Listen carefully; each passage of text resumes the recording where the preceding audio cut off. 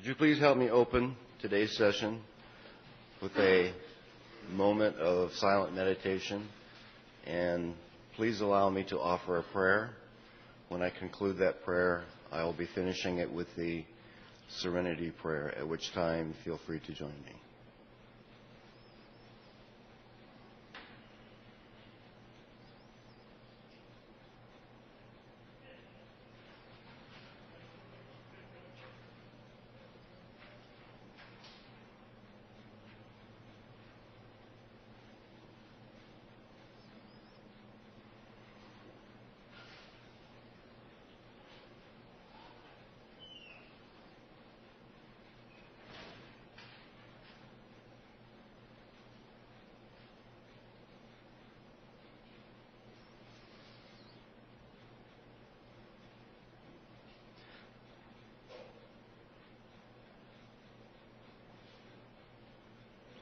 God, thank you for allowing us to come together and pray in this way.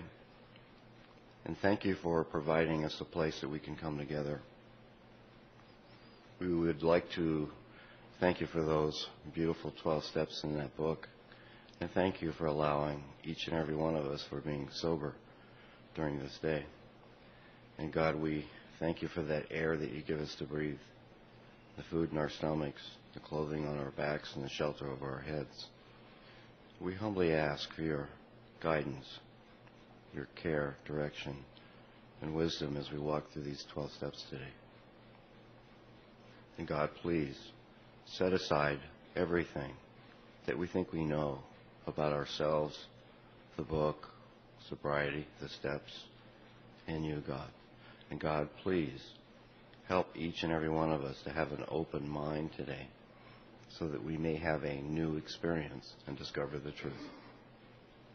God, grant me serenity to accept the things I cannot change, the courage to change the things I can, and the wisdom to know the difference. Amen. I'm Paul Fisher, and I'm an alcoholic. And I would like to welcome all of you to the Big Book Workshop where in the next four weeks we will be taking the 12 steps as outlined in the Big Book of Alcoholics Anonymous in order to recover from alcoholism. We will be using the Big Book exclusively. I will not be using any other text during this workshop. I may make periodic reference to materials that were used to writing the Big Book. So we are going to be solely relying on the recipe outlined in this book. I will be sharing my experiences with you with the 12 steps, and I will also be sharing with you information that I've received from various AA archivists and uh, AA old timers during the time that I've been sober. My experience shows me that if we follow the recipe in this book, you are guaranteed to be free from alcoholism. And basically, what that means is that we are guaranteed to have the compulsion to drink removed. And that's what's happened to me as a result of going through these steps. In the early 40s, there weren't enough sponsors to go around. And what they did at that time was they put together these sessions. And they would bring people together and they would take them through these four one, one hour or one and a half hour sessions and take them through the 12 steps. Now, at that time, they did this before they took them to their first meeting. Look back at what it was like when you went to your first meeting. Remember all of the Greek that you were hearing in meetings? That's what I call it because it sounded like Chinese.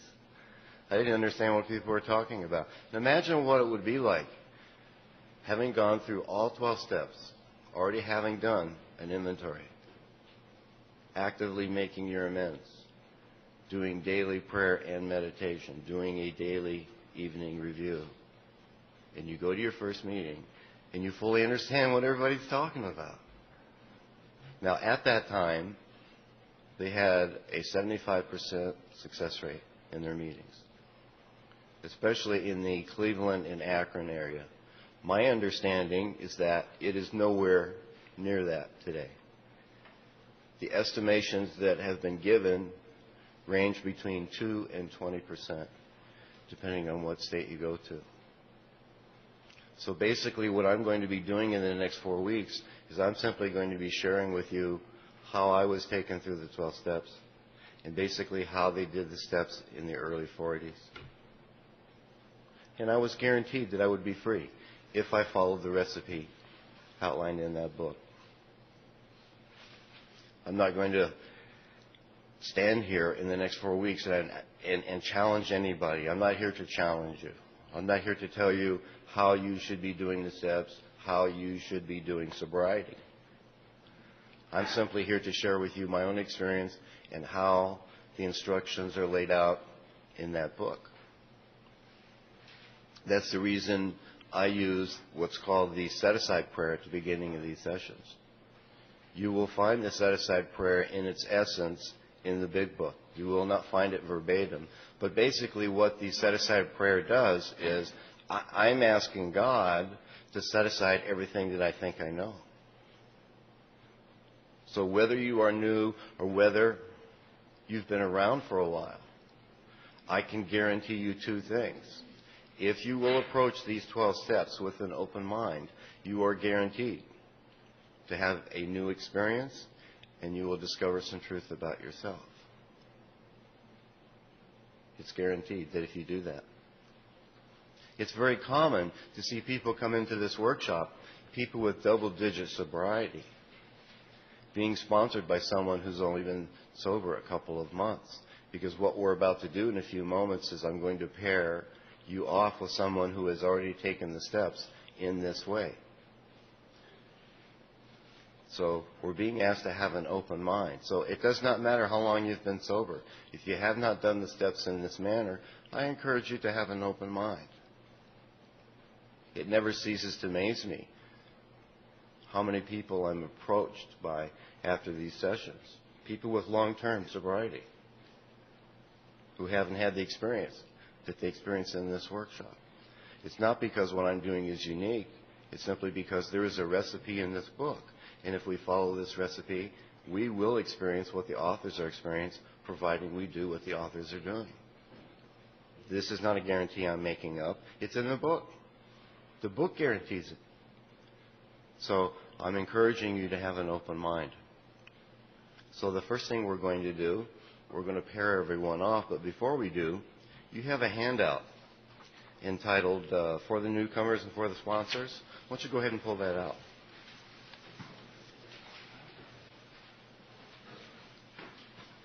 The first section is entitled For the Newcomers. It says, Your primary obligation is, is to be here every week. If you do not have transportation, your sponsor will help you make the necessary arrangements. We realize some of you are in no condition to read the big book at this time. Therefore, we will read the appropriate parts of the big book to you. For those of you have, who have brought big books and are able to follow along, please do so. We will announce each passage by page number and paragraph before we read it. If you are unable to read the book, please participate by listening. Keep in mind that if you do what we ask you to do, which is to take the steps as described in the big book, you will recover from alcoholism. Although a written inventory is part of the fourth step, that doesn't mean you have to do the writing. The person who is sponsoring you through these sessions can either help you write your inventory or he or she can write it for you. The reason that is put in there is because at that time that they had these sessions in, in their early 40s, there were a lot of people who couldn't read and there were people who couldn't write. Okay, for the sponsors, your time commitment to the newcomer is four to five weeks. After that, both you and the newcomer will be expected to sponsor other people through the sessions. During the next month, call or visit the newcomer frequently to see how he or she is doing and to offer encouragement and moral support. Make sure you and the newcomer attend all the sessions together. Offer to help the newcomer with his or her four step.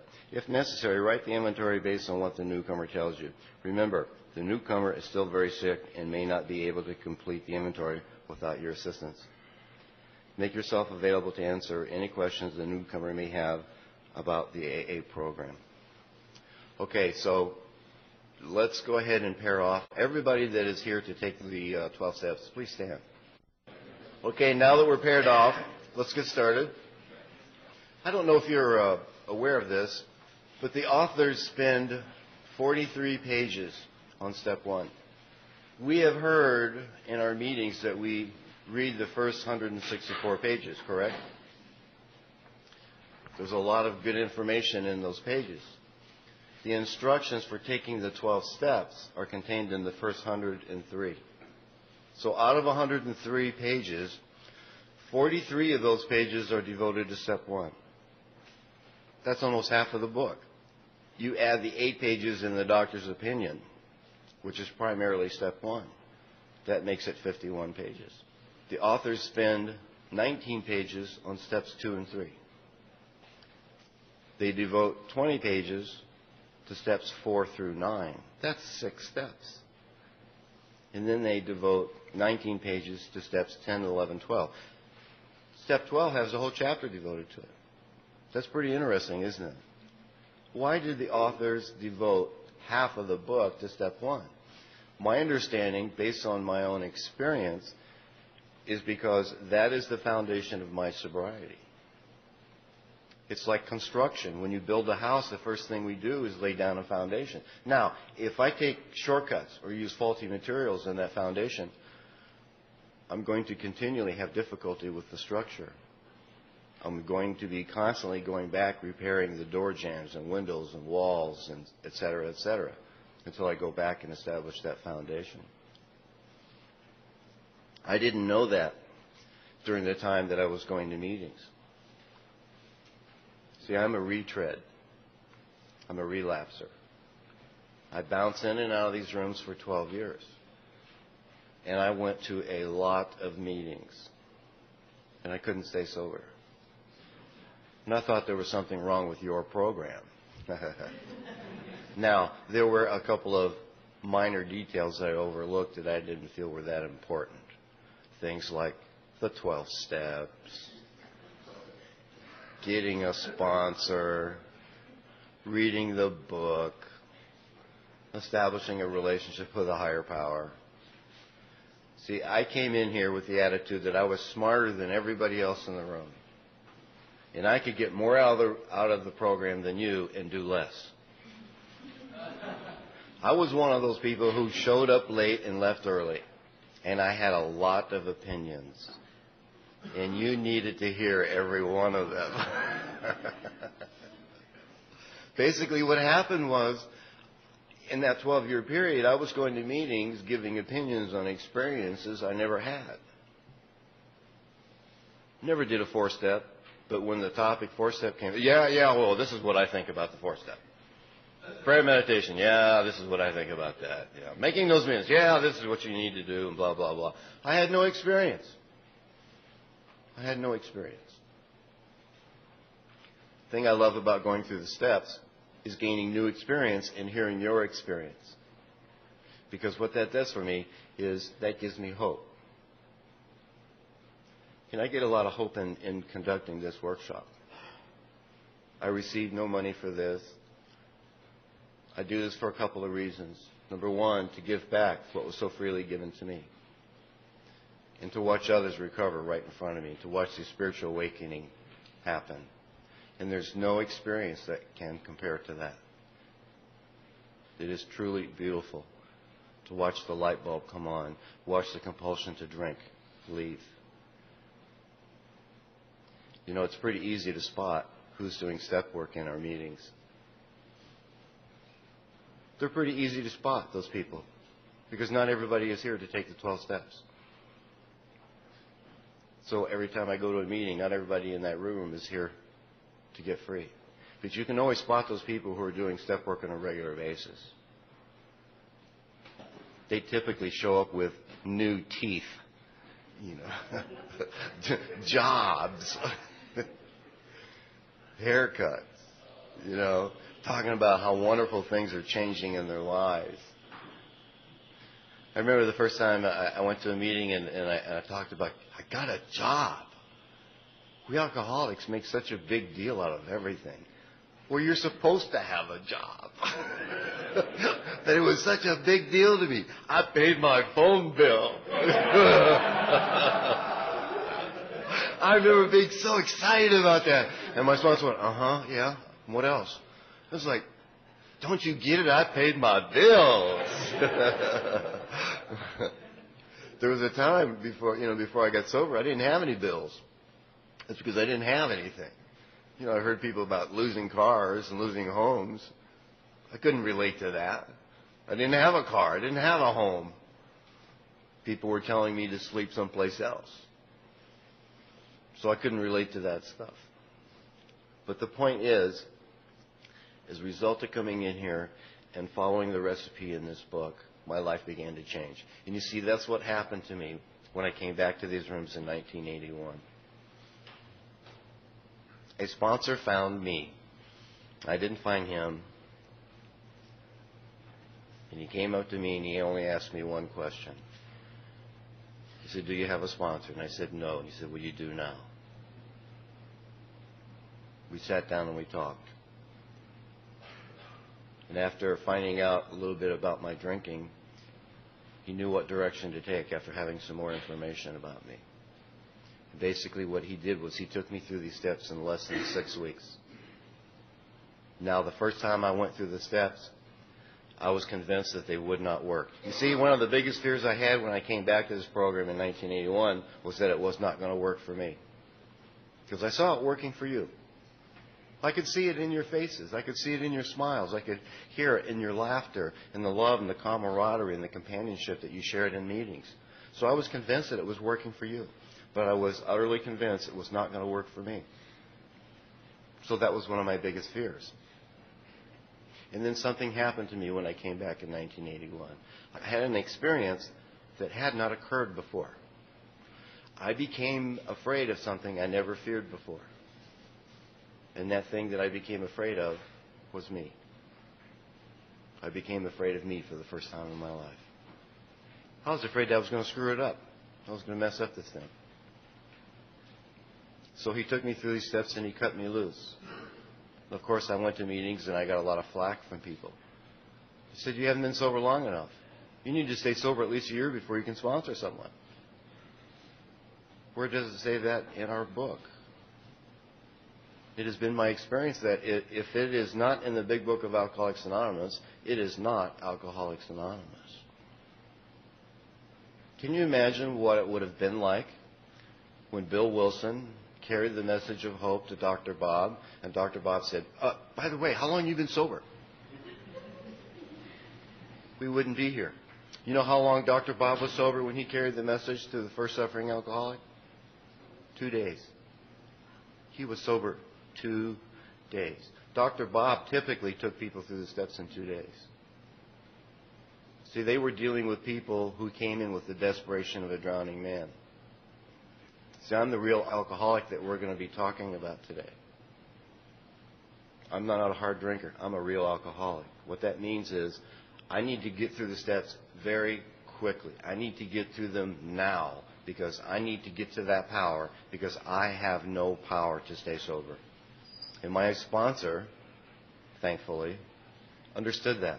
So he took me through the steps very quickly. And then cut me loose and said, okay, now go out and start taking other people through the steps. And I was so afraid, I was afraid I was going to kill someone. He said, You have experience. With what? On how to take the 12 steps. You've had a spiritual awakening. The compulsion to drink was removed for me.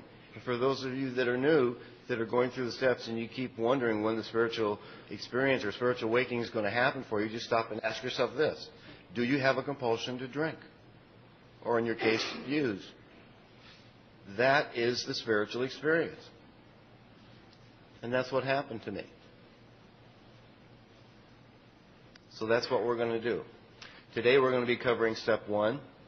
In the second session, we're going to be covering steps two, three, and four. In the third session, we'll be covering steps five through nine.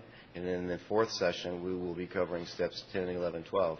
You will be doing an inventory with the person you've been paired off with.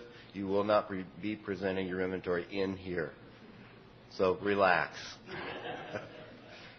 you don't have to share it with all of us, just some of us.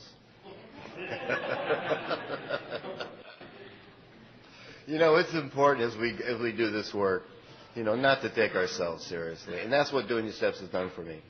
In addition to removing the compulsion to drink, it's taught me to lighten up, not take myself so seriously. And there's one really important reason why we must not take ourselves seriously. And that is because we are the joke. it's us. We're the punchline, okay? All right. Okay, let's get started.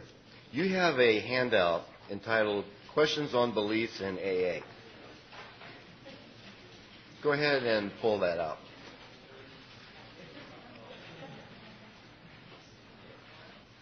Going over this, this is where arrogance shows itself. There are people in this workshop who have done this workshop before and they think they know the answer to these questions. What they don't know is that we have a whole new set of questions. Because I'm looking around the crowd here and I see a lot of you who don't have the handout in your hand who have done this workshop before. Oh, I know the answer to those questions. I don't need that. Aren't we funny? okay, what we're going to do is we're going to answer these true or false at the beginning of the workshop and at the end of the workshop. The purpose of this is to give you an opportunity to examine what you believe to be true. These are common things that I've heard in meetings. Some of them may be true, some of them may be false. No need to answer out loud. Just, just go ahead and write down on your paper, you know, true or false. I'll go over them quickly. If we are planning to stop drinking, all we have to do is not drink one day at a time. I've heard that lots of times. Maybe it's true, maybe it's not. Once I take the steps, I will have a, a partnership with my higher power.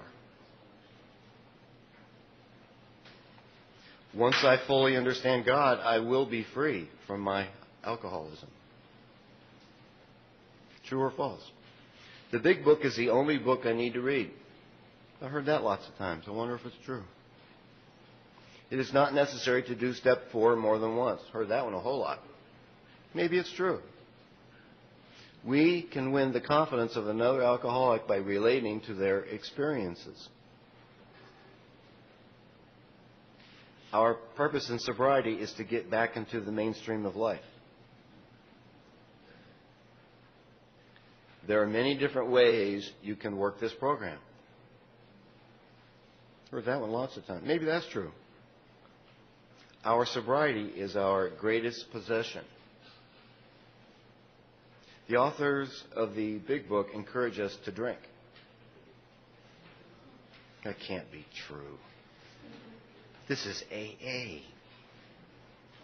Our main focus needs to be on the alcoholic, not on their family. It takes a long time to recover from alcoholism. I've heard that one my entire sobriety. That one must be true.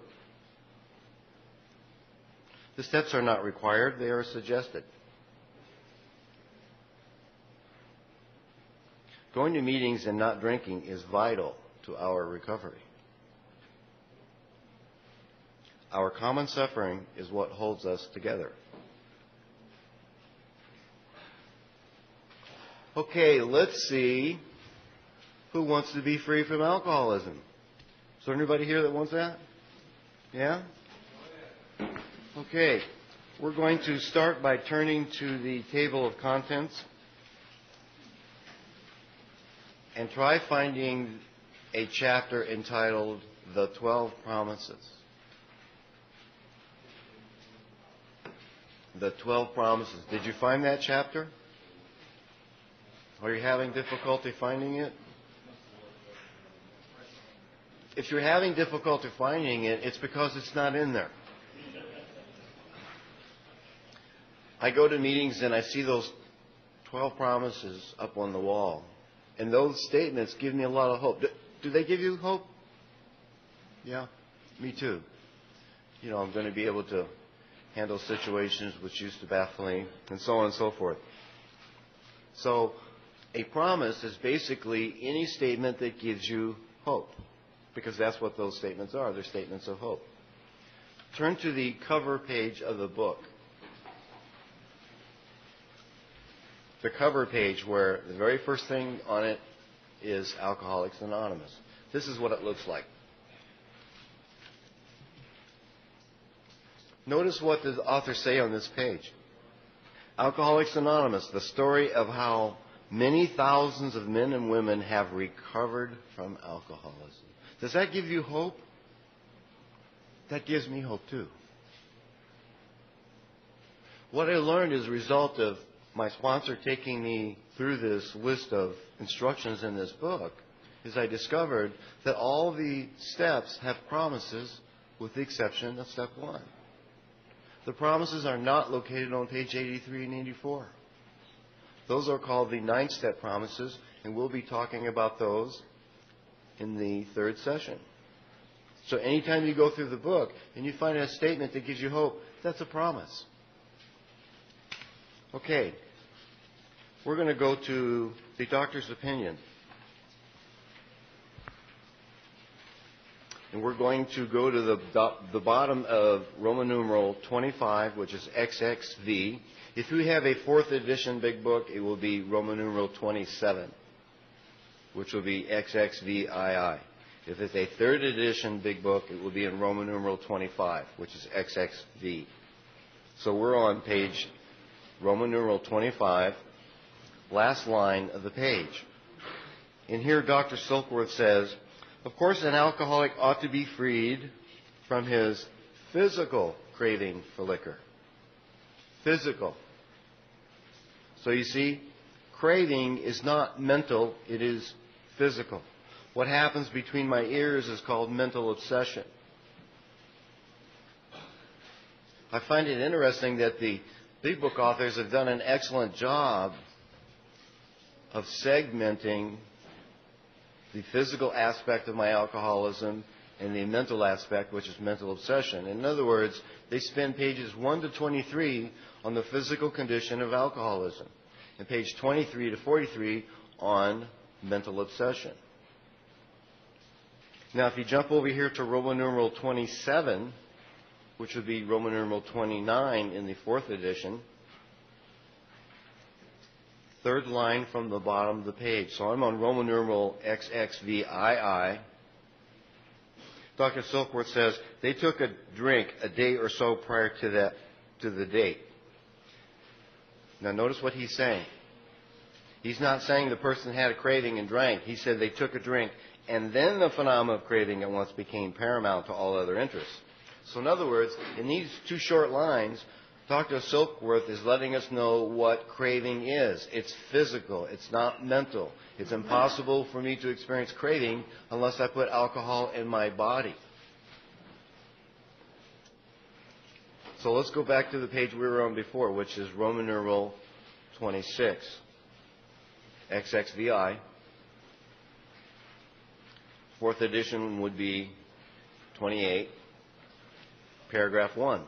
He says, We believe, and so suggested a few years ago, that the action of alcohol on these chronic alcoholics is a manifestation of an allergy. Well, I need to know what an allergy is. He's, he's, he's saying that the alcoholic has an abnormal reaction to alcohol. That's what allergy means. I looked it up in the dictionary. It means abnormal reaction. So, what I'm going to be doing in the next four weeks in these sessions is I'm not going to assume that you are an alcoholic that would be arrogant of me to do so. I'm going to give you the dignity of discovering the truth about your own experience. Notice I didn't say I'm going to give you the dignity of discovering your truth. Because if your truth is anything like mine, it's pretty distorted. so that's what we're going to do. We're going to be given the dignity of discovering the truth about our drinking experiences. Let's find out first if we are an alcoholic. Let me explain to you why it's essential that we do that. You see, if I'm clear about my experience with drinking, then I can transmit that. then I can help another person gain clarity with their experience, with their drinking. Now, let's assume that I haven't been given the opportunity of being taken through the book in this manner. And my sponsor just assumes that I'm an alcoholic. He's probably going to assume that because he wasn't given the clarity either. So you can't blame the sponsor. That's why it's absolutely essential that I be clear about my own experience. Because I can't help you gain clarity if I don't have clarity about my own experience. So I found it essential for me to find out what is a craving. This is what my sponsor taught me as a result of going through this book. Okay, so let's look at having a manifestation of an allergy. That's an abnormal reaction. So what he taught me to do was to take the statements in the book and turn them into questions. So I stop and ask myself the question, did I have an abnormal reaction to alcohol? Well, what's abnormal? Have you ever noticed how orgasmic alcoholics are when they find their car? I found my car. it was such an orgasmic experience where I was constantly losing my car. And then the following day, I would drink again. That does not sound like a normal reaction. Most people who would lose their car, it would scare the daylights out of them, and they would say, "Oh my goodness, I can't do that again. I got to stop drinking." I was I was regularly running my car into parked cars. I would get out and say, "Who parked that car there?" And then drinking it. That's an abnormal reaction. Or my mother was having a gathering at her house, and I swore I wouldn't drink. I swore I wouldn't drink. And I meant it at the time. I swear I'm not going to drink. I swear I'll, I'll be a good boy. I'm not going to cause any trouble. No, the police are not going to be coming to the house again. And I would get there and I would drink again. And what would I do the following day? I would drink again. That's an abnormal reaction. So stop and ask yourself, did you have an abnormal reaction to alcohol? Then he goes on to say that the phenomenon of craving is limited to this class. What class? The person who has an abnormal reaction to alcohol. And never occurs in the average temperate drinker. So what's a craving? It's a longing for. I remember the first time I was asked, Did you experience craving for alcohol when you drank alcohol? No, I just wanted more. well, that's exactly what a craving is. I would put alcohol in my body, and I would want more alcohol. Now, through the years, I've sponsored guys who would respond to that question in this manner. Did you have a craving when you drank alcohol? Oh, sure, I would drink, and then I craved cocaine. See, I need to be real clear about something. This book was written for alcohol. It was not written for other drugs. Now, if it applies to your situation, then that's wonderful. But keep in mind that it was written for alcohol. So when Dr. Silkworth is talking about the phenomenon of a craving occurring after we put alcohol in our body, he's talking about alcohol. It has been my experience that that is the case with cocaine. That is not the case with heroin. It's the exact opposite. Having used a lot of heroin when I was drinking, the drug would wear off.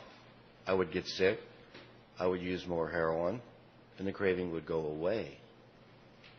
I would put alcohol in my body. I wanted more alcohol. So, once again, turn that into a question. Did you crave alcohol when you put alcohol in your body? And what's really important in this statement, he says, and never, never means not one time, occurs in the average temperate drinker. In one sentence, Dr. Silkworth tells me how to determine if I'm an alcoholic.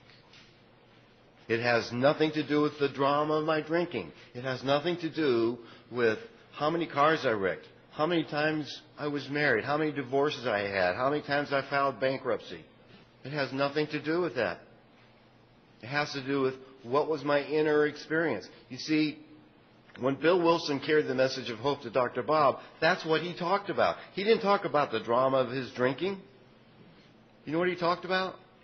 He talked about his inner experience. He talked about the phenomenon of craving, putting alcohol in his body and wanting more.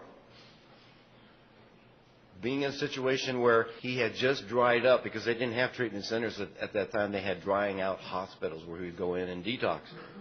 And he would get out and he was so glad that he was sober, but the thing he wanted more than anything else was another drink. He talked about the remorse, the guilt, the shame, the regret, the hopelessness, being full of fear, full of anxiety, not having any purpose or meaning for life, the futility of his existence. That's what he talked about. So you see, discovering whether or not I'm an alcoholic has nothing to do with the drama. As a matter of fact, I recall going to meetings in that 12 year period and hearing a lot of drama in meetings and not being able to relate. So let's say I'm brand new. I'm sitting in the back of the room. And this guy's going on and on about all the drama. He talks about being in prison. He talks about having three divorces. He wrecked six cars and filed, filed bankruptcy. So I'm a, I'm a newcomer back there, and this is what I'm hearing. Let's see. I've never been to prison. I've never been married. I've never wrecked a car. I've never filed bankruptcy. Maybe I'm really not an alcoholic. And he walks out the door, and we've just lost him. I find that drama creates a lot of distance. It does not create relatedness. That's the stuff we talk about over coffee to amuse each other. But that's not what I do in a meeting of Alcoholics Anonymous. I'm there to carry a vision of hope and to share my inner experience. So keep that in mind as you're going through these steps. So let's turn that into a question. Did you experience a craving for alcohol when you put alcohol in your body? Now notice he says, and never occurs in the average temperate drinker. So let's say, out of 10 times that I drink, I do not experience craving 8 times. Am I an alcoholic? According to Dr. Silkworth, I am. You know why? Because he said it never, he doesn't say rarely, he doesn't say seldom, he says never occurs in the average temperate drinker. You see what separates me from the non alcoholic? Has nothing to do with how many times I've been to jail. Has nothing to do with that. It has to do with one thing and only one thing. It's called the phenomenon of craving. I've had the opportunity of going out for business dinners with colleagues who drink and sitting there and watching them drink, and they'll have one or two. By the time they get the second drink, they push it away and they say something like, I better stop. I'm starting to feel it. well, let's go then. Come on. Let's get it on. I cannot relate to that. I've been asked that question multiple times through the years by, by colleagues and say, Paul, I don't understand it. What separates you from me? I don't have to go into this big old diatribe about, you know, what I experienced in the 12 years and so on and so forth, and I found a sponsor who had big book sobriety and blah, blah, blah, blah. I don't have to go into that. I tell them what phenomenon of craving. What do you mean? I put alcohol in my body, I crave more alcohol, and I can't stop. That's how I know that I'm an alcoholic. Okay. The bottom of that page, second line from the bottom.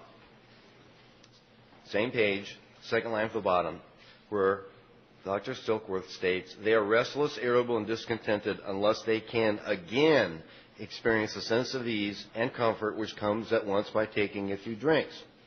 Drinks which they see others taking with impunity. Sounds like he's talking about drinking, doesn't it? Yes and no. Now check this out. They are restless, irritable, discontented unless what? unless I can again experience the sense of ease and comfort which comes at once by taking a few drinks. In other words, I was irritable, restless, and discontented unless I could have that experience again. What's ironic about that is I had the same identical experience in sobriety.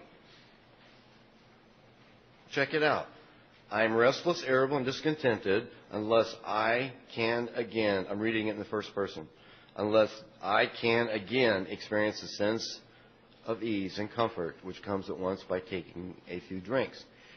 In other words, I have to find something in sobriety to give me the same sense of ease and comfort that alcohol gave me. And if I do not, I'm going to end up restless, irritable, and discontented. You see, that's what's happened for me as a result of going through these steps.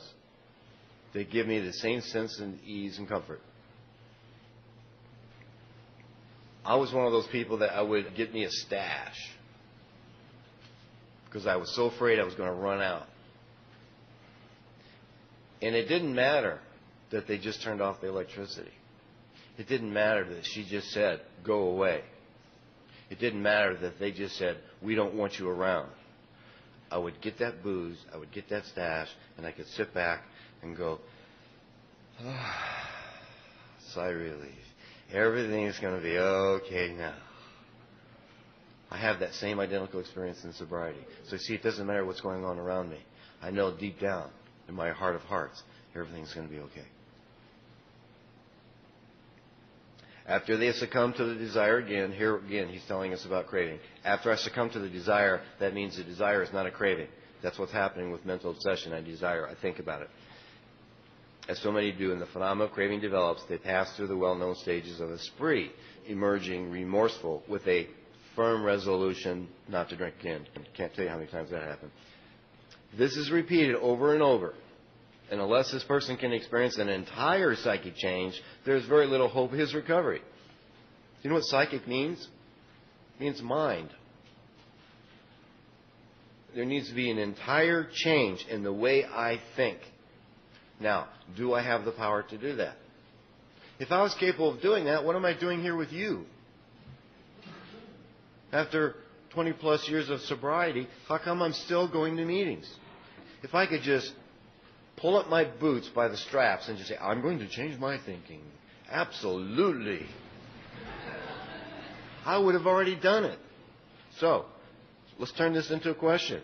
Are you willing to consider that unless you experience an entire psychic change, there is very little hope of your recovery? Are you willing to consider that? Now, on that same page, go to the third paragraph, same page, third paragraph, go down to line 3. Line 3, paragraph 3. One feels that something more than human power is needed to produce the essential psychic change.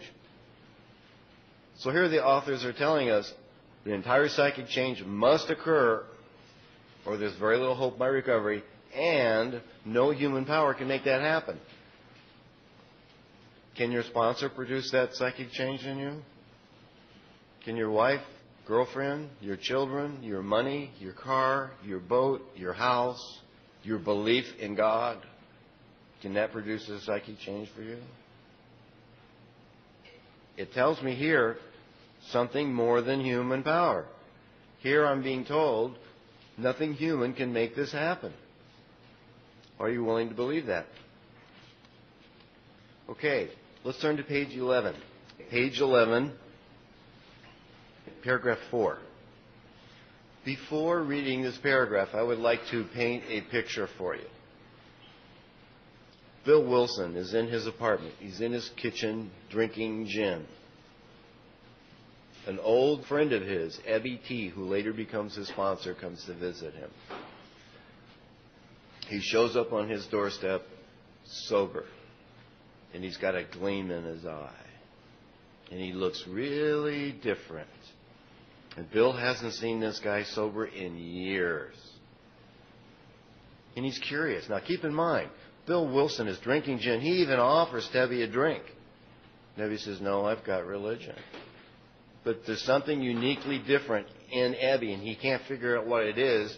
So he's trying to consider where did Ebby get the power to make this happen? And this is what he says Had this power originated in him? In other words, did it originate in Ebby? Then he realizes, obviously, it had not. So he realized. Now keep in mind, he's drinking. He realizes that the power did not originate in Ebby. There had been no more power in him than there was in me at that minute, and this was none at all. This is where Bill Wilson discovers he has no power. That is the very essence of step one. In other words, the authors have spent half of the book on the instructions, 43 pages, to get across one point no power. See, I thought step one, and I thought Alcoholics Anonymous was about not drinking. Now, don't get me wrong, it's helpful that you don't drink. But what I discovered is that AA is not about not drinking. Step one is not about not drinking. See, if step one was about not drinking, we could do away with all those words and it would say, quit or stop. One thing I am clear about with my alcoholism I am going to drink no matter what. I am going to drink no matter what. Why? Because I have no power. If I had the power to keep me sober, it would be necessary for me to be in Alcoholics Anonymous. But you see, the reason I came into these rooms was not because I wanted to stop drinking. Consider this for a moment. If you are a real alcoholic, why would you want to stop? I didn't. I wanted to stop suffering. But I did not want to stop drinking. Now, if you approached me and said, Paul, I can guarantee that you can drink all you want, and there will be no consequences. How many of you in here would say, let's go? Look at all those hands. Yeah. So, maybe it's something we need to consider. Did I really come in here to stop drinking or did I come in here to stop suffering? See, I had this big hole inside of me and I kept trying to fill it up with booze, try to fill it up with women, money, jobs, etc., etc., and I just couldn't fill it up. I wanted to stop suffering. I wanted the pain to stop. I wanted the fear to go away. I wanted the paranoia to disappear. But I wasn't certain I wanted to stop drinking. See, I wasn't convinced that I had no power. The authors have spent all those pages on that one point. We must be really slow for them to spend 43 pages to get drive home one little point. No power. You have no power. You are going to drink no matter what. Thank you, thank you, thank you. Such a cup full of hope. I'm going to drink no matter what. Oh boy, now I'm screwed. Now what? See, this is what happened for me. I came into these rooms thinking, that was the problem, thinking I made a decision. You ever heard people say that? Yeah, I've made a decision. Oh my, the moment they say that, man, we're in trouble. Anyway, I came into these rooms with this attitude. You are going to show me how not to drink one day at a time. You're going to share with me little techniques, relapse prevention, Show me how to identify my triggers. Give me information. That, that's it. Information. That's it. I need more information. That'll keep me sober. Right. I've been sober coming up on 21 years in a couple of months. And I have been working in the field of addictions longer than I have been sober. Do the math. I knew all, I had lots of information. I knew all about alcoholism. I knew all about the dynamics of denial, progression, the Jellinek chart. I could recite the Jellinek chart in, in my sleep. I could tell you where AA was, what you needed to do to stay sober. I had all the information, all the data, but I couldn't. See, I had no power. I had no, no human power could keep me sober what the authors are saying on, in this paragraph on page 11, this is the very essence of step one. It's about no power. Do I have any power when it comes to the phenomenon of craving? Can I control it? Can I control the mental obsession that kicks in, you know, jumps into my head? Now here's something to consider. If I have no power with mental obsession, if I have no power with the phenomenon of craving, how manageable is my life? It's probably going to be pretty unmanageable. Okay.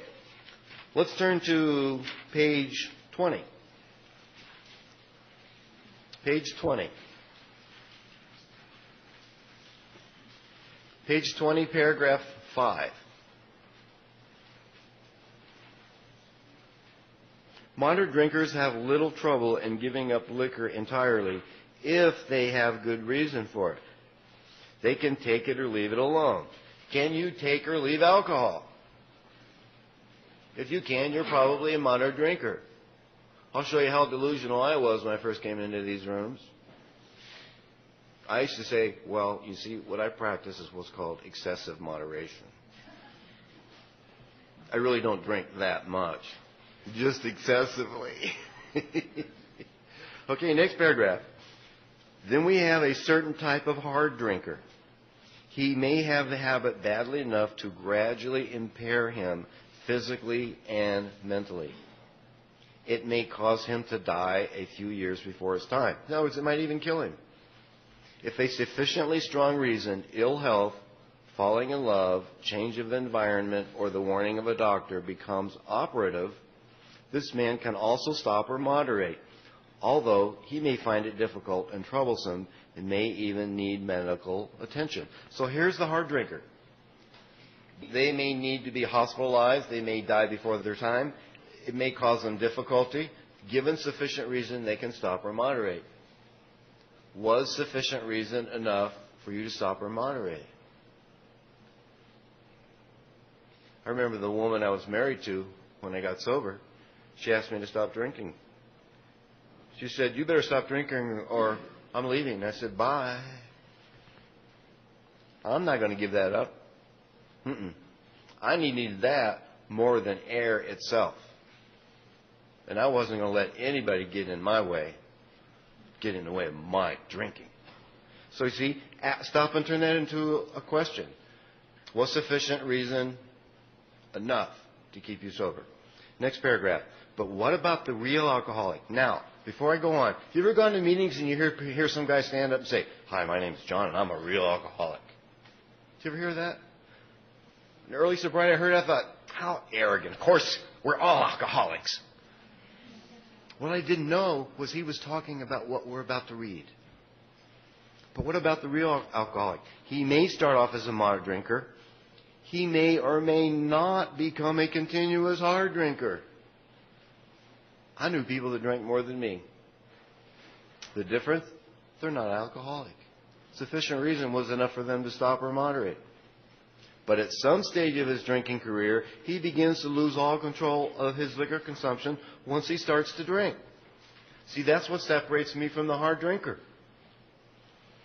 Once I start to drink, I lose all control. Sufficient reason isn't enough. I can't take it or leave it like the moderate drinker. So here we have opportunity to further examine if I'm a real alcoholic. See, if I'm clear about my drinking experience and I discover I'm a real alcoholic, I can help another person gain clarity about their experience. If I don't have that experience, I can't transmit that. Maybe that's part of the reason we have such a low success rate in Alcoholics Anonymous today. I won't sit up here and pretend I know the reason. I don't know what the reason is. We're losing a lot of people. Maybe the message isn't being transmitted clearly. Maybe we're not giving that person the dignity. I can't tell you how many times I sponsor guys who come right out of treatment. And I ask them, Are you an alcoholic? Sure, how do you know? They told me so. I can't tell you the number of times in this workshop, in this workshop, I've seen members of Narcotics Anonymous come to this workshop convinced they were not an alcoholic until they were given the dignity of discovering the truth of their experience and come up to me after the workshop and go, My God, I'm an alcoholic. Wow, that's beautiful. And I've seen the opposite of that occur as well. I sponsor a guy like that. This person was in AA for almost 10 years. He went to treatment. He was a crack addict. And the therapy staff told him, go to AA and just tell him you're an alcoholic. Okay. He wanted to be a good little student, wanted to be a good little AAer. And he went to meetings, and every time he opened his mouth, he said, Hi, I'm an alcoholic. For almost 10 years. Couldn't relate. Couldn't identify with their inner experience. And he used again. And he tried really hard to fit in. You see, every time he opened his mouth, he was lying. His entire sobriety was based on a lie he was not an alcoholic. And what I find is that a lot of AA members are threatened by that. No, let's not be telling people they're not alcoholic. Let's, let's not let them find out the truth about their experience. Now, I will share with you what that person is like today. Today, he's sober two years. He's an active member of Cocaine Anonymous, and he knows where he belongs. He is clear about the truth regarding his experience. And he's of great service to those people in CA. He's a free man. See, he was in the wrong fellowship. He is in the wrong fellowship. And he tried really hard for 10 years to make himself fit in, and he couldn't fit in. Why? Because he didn't belong there. He knows that today. That's why it's imperative that we be clear about our own experience. Okay. Page 23. Page 23, paragraph 1. Page 23, paragraph 1. Line 3. Earlier I stated that the authors segment the book and from page 23 to 43 emphasize mental obsession and they immediately give us a clue that that's what they're going to do in line 3. Therefore, the main problem of the alcoholic centers in his mind.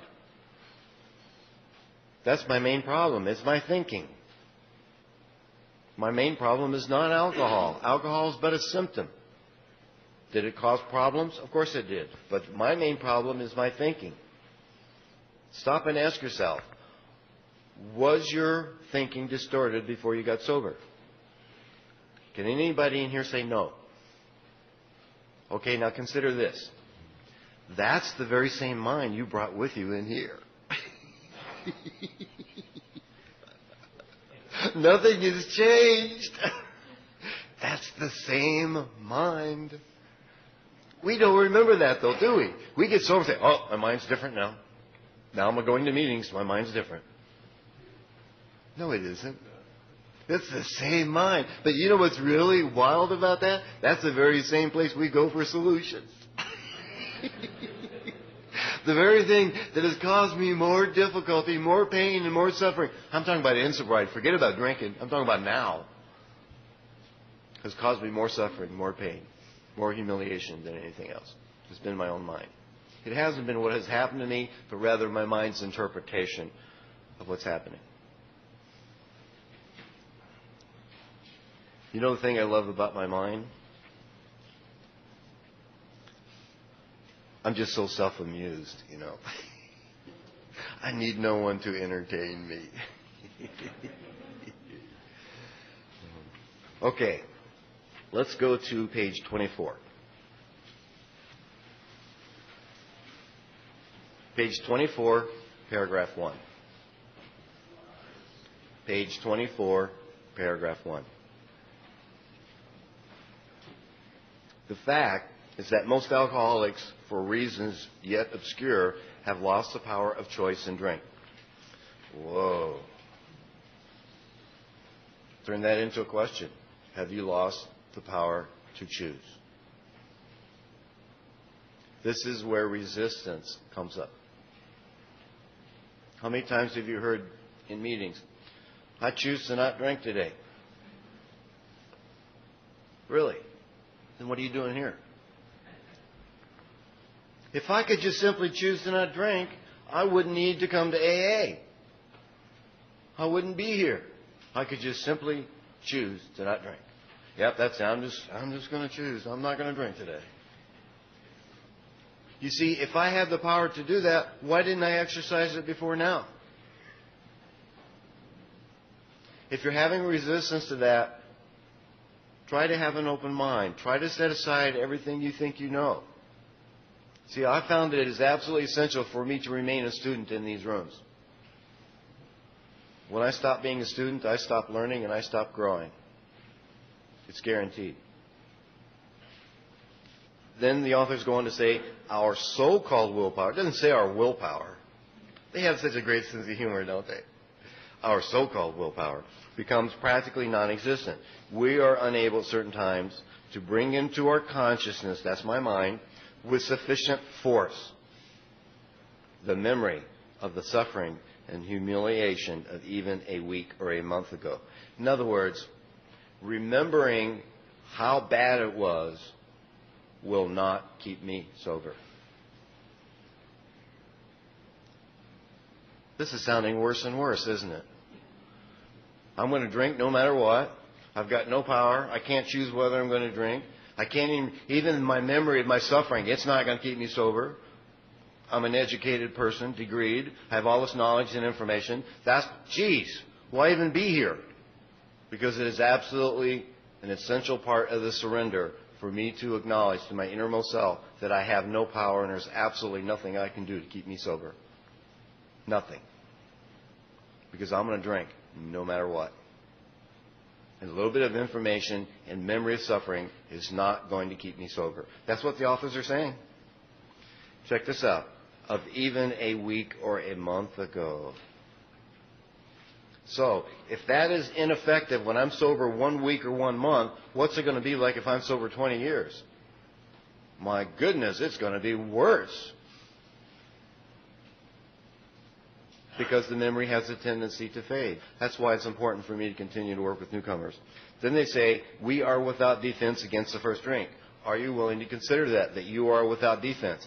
Once again, here the authors are trying to drive home that central theme that I have no power. I'm without any defense. I had it backwards. I thought you were going to teach me how to not drink. What I discovered was it was I had it completely backwards. What I needed to do was I needed to have what is called a first step experience. I needed to admit, to concede that I have no power over. Look how it's worded. We admitted we were powerless over alcohol. That means I have no power. And as a result of making that admission, conceding to my innermost self, then I was in a position to find a power greater than me. So see, once I have that surrender, now I have desire to seek a power. Until I have that experience, I have no desire to seek that power. Why? If I haven't surrendered and I haven't conceded, there's absolutely nothing I can do to keep me sober. Why even seek a power? I don't need it. Bye.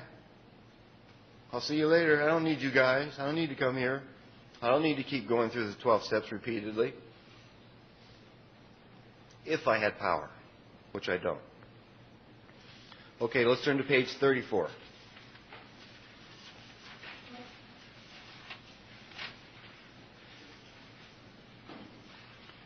Page 34, paragraph 2. Page 34, paragraph 2. For those who are unable to drink moderately, the question is how to stop altogether. We're assuming, of course, that the reader desires to stop. Whether such a person can quit upon a non spiritual basis depends upon the extent to which he has already lost the power to choose whether he will drink or not. Ask yourself that question. Can you stop on a non spiritual basis? In other words, on your own power. Can you? Then you may be experiencing the same thing that I did, and that the alcoholics in this book that are being described on these pages. So, if I can't quit upon a non spiritual basis, I've probably lost the power to choose whether I will or will not drink. Consider this. You run into me at a meeting and you hear me saying, I choose to not drink today. When I say that, who am I saying has the power to keep me sober? Me. Who am I saying deserves all the credit? Me. So if I'm saying that, why am I here? You want to find out if a person's taken the first step as outlined in the big book? You only need to ask one question. Only one. Can you choose to not drink today?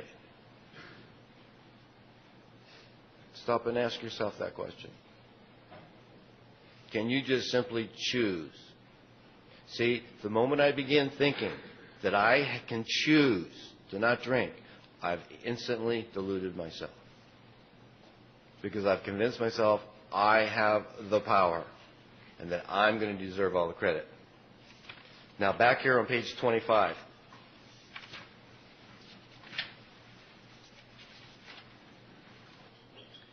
Third paragraph, page 25, paragraph 3. If you are as seriously alcoholic as we were, we believe there was no middle of the road solution. we were in a position where life was becoming impossible. And if we had passed into the region from which there was no return through human aid, we had but two alternatives. One was to go on to the bitter end, blotting out the consciousness of our intolerable situation as best we could, and the other to accept spiritual help. So here the authors are telling me there's only two alternatives. Either keep drinking, keep living the way I am, or seek spiritual help. There's no middle of the road solution. There's a way that you can explore that within yourself by asking yourself this question What would happen to Alcoholics Anonymous if every single member was doing sobriety the way I'm doing it today?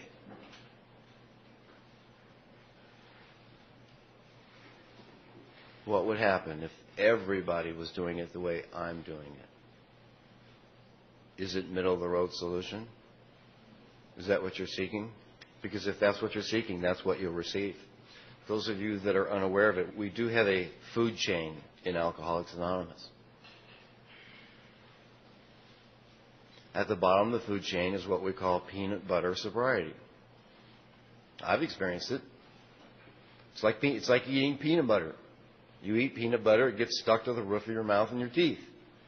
In other words, it's very easy to get stuck there. Peanut butter sobriety is when I'm just doing barely enough. I'm the guy who's just going to meetings. I'm not working with a sponsor. I'm not doing the steps. I don't do fellowship. If I do, I'm a wallflower. I'm back there in the corner. I'm not really getting involved. Then you move a little further up the food chain, and we have hamburger sobriety. It's a little better, not much. You move a little further, and then you have chicken sobriety. That's a little bit better. And then we get to the top of the food chain, and then we have filet mignon sobriety. What do you want? You want peanut butter or you want filet mignon? I want the best of the best. Why?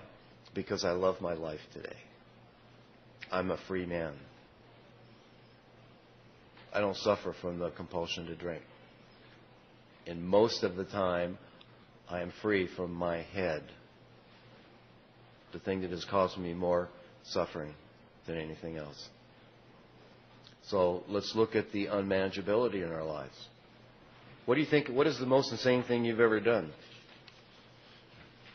The most insane thing I have ever done, I've done in sobriety. The most insane thing. And I'll tell you what it was. It was a direct result of my mind. I'm sober. I've already gone through the steps. I'm happy, joyous, and free, man. I'm fat, dumb, and happy. I'm having fun. And one day it crosses my mind, I bet I could have a drink. That's insane. That is the most insane thing I've ever done. Thinking, after having a spiritual awakening, after being free from the compulsion to drink, and one day my mind tells me, I think I could have a drink today. Does that sound crazy? Now, if you doubt that, turn to page 52. Here's a great description of unmanageability. Page 52, paragraph 2. Page 52, paragraph 2, line 3. Let's turn these statements into questions. We were having trouble with personal relationships. Are you having trouble with personal relationships? We couldn't control our emotional natures. Can you control your feelings? We were prey to misery and depression. Are you subject to that? We couldn't make a living. This has nothing to do with making money. They said make a living. This is about living. This isn't about earning. You having trouble making a living? We had a feeling of uselessness. Do you feel useless? We were full of fear. Are you full of fear? We were unhappy. Are you unhappy? Does it seem that you couldn't be of real help to other people? So you see, mental obsession is not confined to sitting around saying, I'm going to drink, I'm going to drink, I'm going, oh, I got to have a drink, i got to have a drink. It has many different forms in the book. Switching, only waiting until 5 o'clock to drink. Putting whiskey in milk. Like that one story in there about that guy who puts whiskey in his milk. He thinks he's got a full stomach now and he's coated his stomach with milk. Now he can drink. Here's another one. I've been sober a long time. My life's manageable now. I can drink now. That's called mental obsession.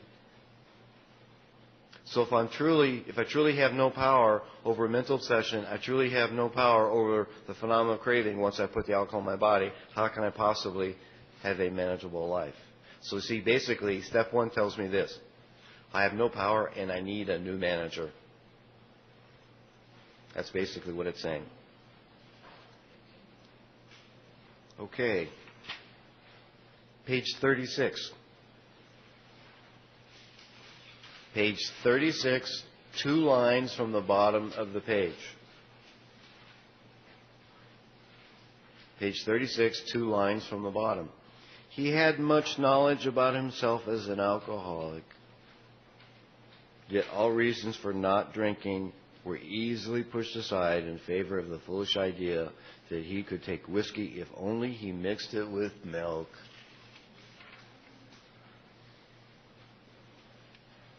Page 39. Page 39, paragraph 1, line 5. Page 39, paragraph 1, line 5. But the actual or potential alcoholic, with hardly an exception, will be absolutely unable to stop drinking on the basis of self knowledge. So stop and ask yourself can I stop drinking on the basis of self knowledge? Maybe that's the key. Yeah, that's it. Information, knowledge. I need knowledge. After all, we are in an era of information. That's it. I need info, input, input. Give me more input. Yeah. That, that's the ticket. Yeah, that'll keep me sober. Okay, now what we're going to do is we're going to find out who's an alcoholic. If you truly believe that you have no power over mental obsession, over the phenomenon of craving, and that your life is unmanageable. Let's turn to page 30.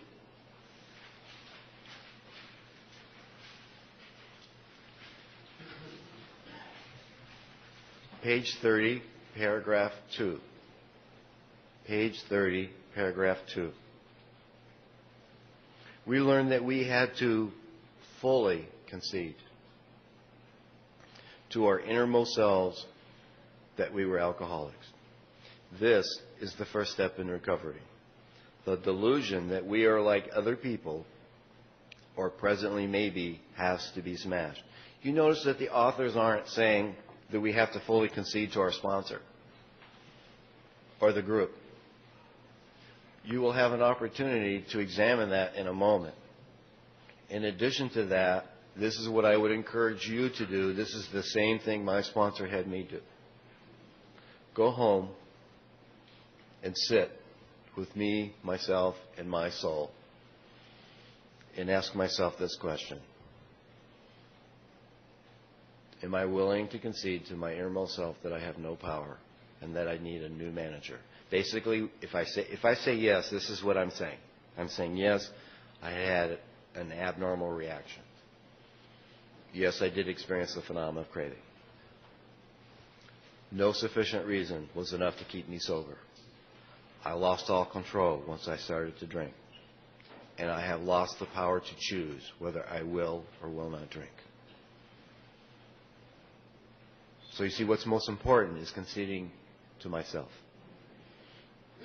As long as I'm clinging to the idea that I have some power, some knowledge, some information, some memory that's going to keep me sober, there's no room for step two. Look what it says in step two came to believe in what? A power greater than myself. So you see, if I'm still clinging to the idea inside of me I have some power, there's no room for that, is there? And that has been my experience.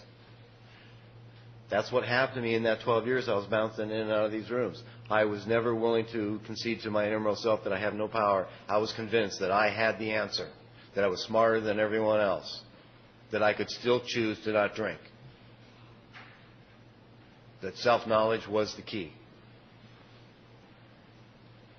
I was convinced of it. My behavior, my experiences illustrates that. If I truly believe that I don't have the power, what am I doing testing it?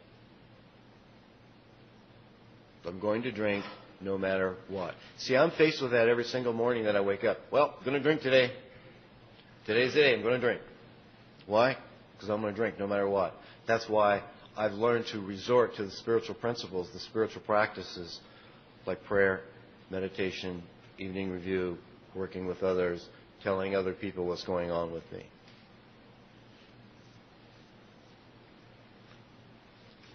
So, everybody that is here to take the steps, please stand.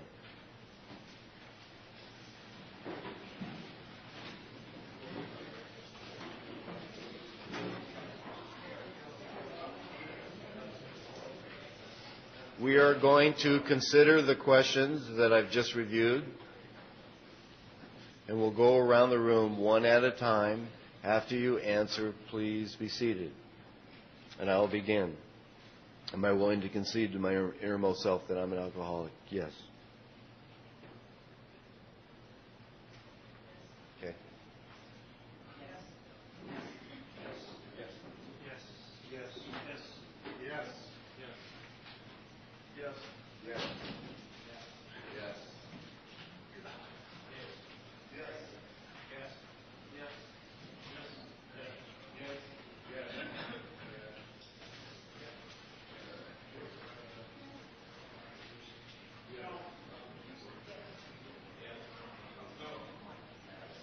Congratulations.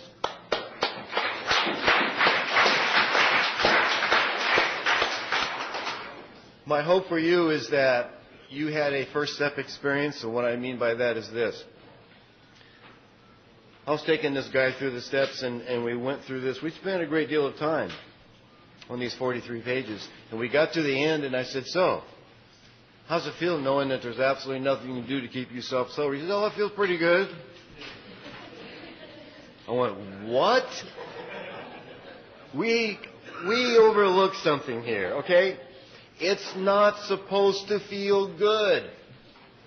If you're feeling good, you probably did not have a first step experience. It. Consider it. If you are a real alcoholic, how promising does it sound that there's nothing you can do to keep you sober? Is that going to make me feel good? Of course not.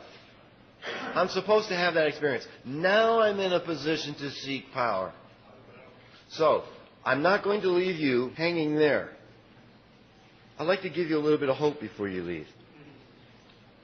Okay, let's turn to page 46. Page 46, paragraph 2, line 5.